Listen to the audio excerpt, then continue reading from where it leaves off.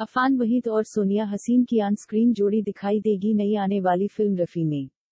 ये फ़िल्म पाकिस्तानी एटमी साइंसदान रफी मोहम्मद चौधरी की ज़िंदगी के मुख्तलिफ़ पहलुओं को उजागर करेंगी।